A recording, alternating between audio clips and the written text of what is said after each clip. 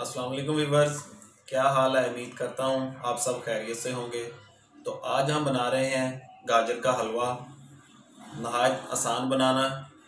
तो आए चलते हैं रेसिपी की तरफ़ और देखते हैं इसके लिए हमने किस किस कितनी कितनी चीज़ ली है।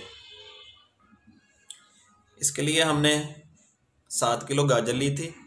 उसको कद्दूकश करके हमने इसमें बड़े पतीले में डाल लिया तो इसमें तकरीबन छः लीटर हम दूध डालेंगे।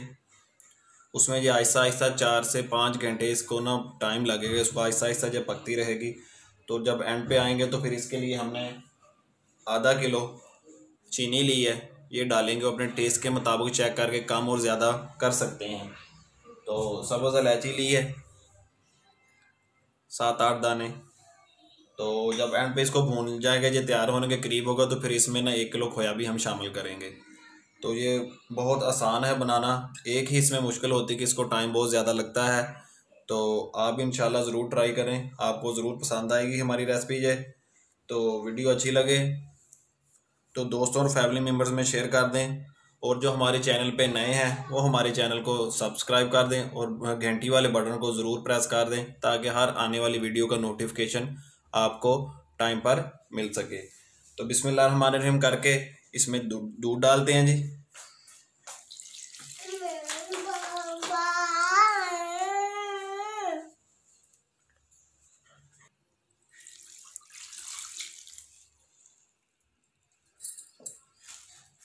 दूध हमने छः लीटर का छः लीटर इसमें डाल दिया जी।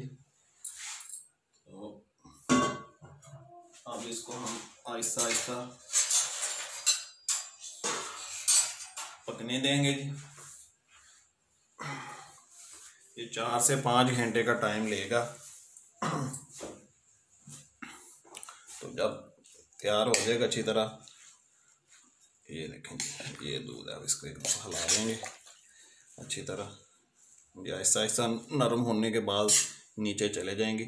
इसके ऊपर एक दफ़ा हम ढक्कन दे देंगे, ताकि जो अच्छी तरह सॉफ्ट होकर नीचे चली जाएँ।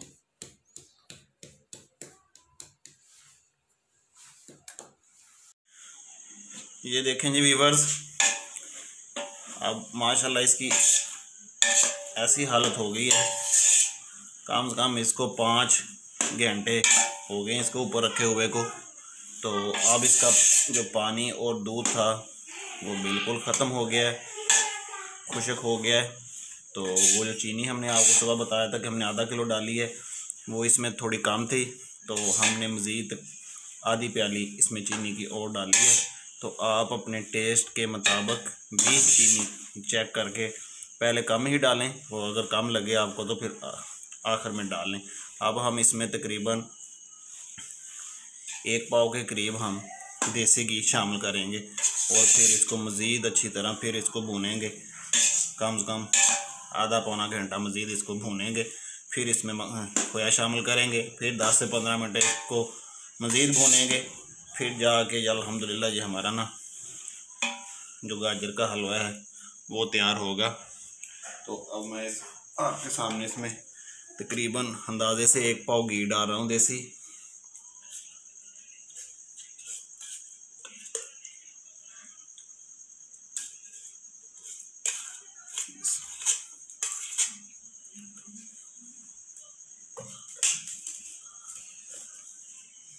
ये देखिए एक पाव घी हमने अब इसमें शामिल कर दिया है। अब ये अच्छी तरह। आँच जब आपने भूनना है, इसको तो आँच आपने स्लो कर लेनी है।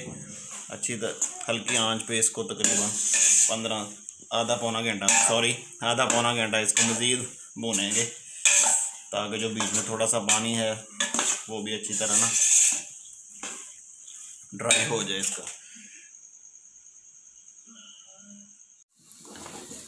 देखें व्यूवर्स माशाल्लाह ये भून भून के अब हो गया, अब इस इस हालत में हो गया है जी तो अब इसने ऑयल भी छोड़ना शुरू कर दिया ये मैं आपको दिखाता हूँ। अब इसने ऑयल छोड़ना शुरू कर दिया है तो अब हम इसमें एक किलो खोया शामिल कर देंगे। बिस्मिल्लाह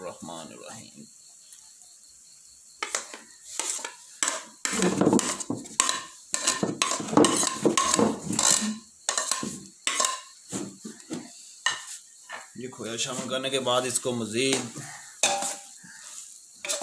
तकरीबन आधा घंटा मज़ीद इसकी भूनेंगे इसको, ताकि ये अच्छी तरह यकजान हो जाए फिर।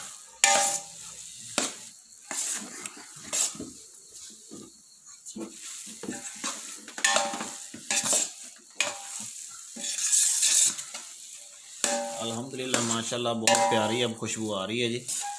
सब्ज़ इलायची जो डाली हुई थी हमने बीच में, इसके, उसकी बहुत प्यारी स्मेल आ रही है। तो काम तो ये माशाल्लाह बहुत मशक्क़त वाला है। तो अल्हम्दुलिल्लाह, कोशिश की है आपके साथ ये रेसिपी शेयर करने की। उम्मीद करता हूँ कि आप लोगों को ज़रूर पसंद आएगी। वीडियो अच्छी लगे तो फ्रेंड्स और फैमिली मेंबर में ज़रूर शेयर कर दें और कमेंट्स में अपना फीडबैक ज़रूर दें।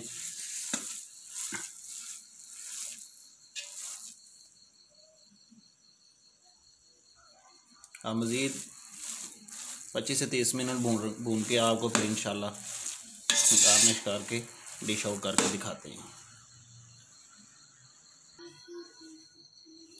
अल्हम्दुलिल्लाह वीवर्स, आज का जो गाजर का हलवा है, अल्हम्दुलिल्लाह हमारा तैयार हो गया है। माशाल्लाह, बहुत ही अच्छा बना है। तो आप लोग भी ज़रूर ट्राई करना। तो ट्राई करके मुझे ज़रूर कमेंट में बताना कि कैसा बना है और ये रेसिपी आपके को कैसी लगी है। तो मैं उम्मीद करता हूँ आपको आज की रेसिपी ज़रूर पसंद आएगी। तो जो हमारे चैनल पे नए हैं काइंडली वो हमारे चैनल को सब्सक्राइब कर दें और बेल वाले आइकॉन को ज़रूर प्रेस कर दें, ताकि आने वाली हर वीडियो का नोटिफिकेशन आपको टाइम पे मिल सके। तो अगली वीडियो तक आपसे इजाज़त चाहते हैं। अपना बहुत ख्याल रखिए। अल्लाह पाक हम सब का हामी नासर हो। अल्लाह हाफि